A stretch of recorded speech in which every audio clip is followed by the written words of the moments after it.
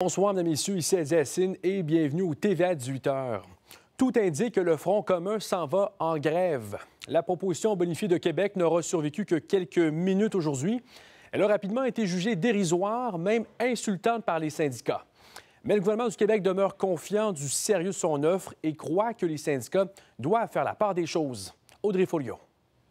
À quoi ils pensent? Comment ils peuvent être autant déconnectés? Le Front commun et la FIC rejettent en bloc l'offre bonifiée du gouvernement Legault. On avait de l'espoir, mais ce que je peux vous dire maintenant, c'est qu'on continue ce même régime, ce même ton d'arrogance et d'insultes. Il y a deux sentiments qui nous habitent actuellement déception et colère. Québec hausse son offre globale à près de 15% sur cinq ans, ce qui inclut un montant forfaitaire de 1 000 la première année.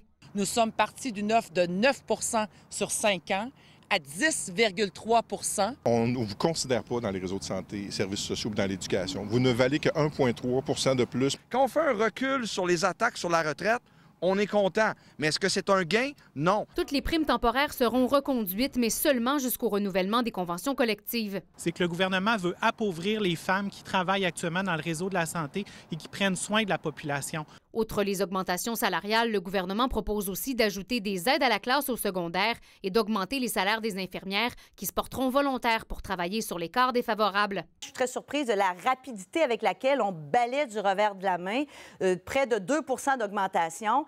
La présidente du Conseil du Trésor se défend d'être déconnectée des besoins des travailleurs. Je vais vous donner un exemple. Pour une infirmière bachelière qui travaille en urgence les fins de semaine, ça peut équivaloir un salaire qui est près de 137 000 par année. Moi, quand on qualifie ça d'insultant, je me dis, sans surprise donc, les journées de grève prévues le 6 novembre pour le Front commun et les 8 et 9 novembre pour la FIC sont maintenues. L'élastique est à son maximum. On doit traiter les travailleurs de l'État avec respect. Depuis le début de cette négociation-là, les syndicats sont campés dans leurs demandes et n'avancent pas vers moi.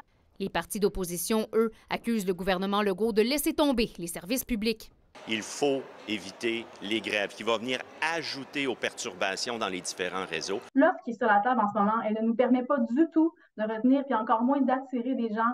Les syndicats prendront le temps d'analyser l'offre en détail et de la présenter à leurs membres. Ils se disent toujours prêts à négocier, mais évidemment, si rien ne change, ils n'excluent pas non plus une grève générale illimitée.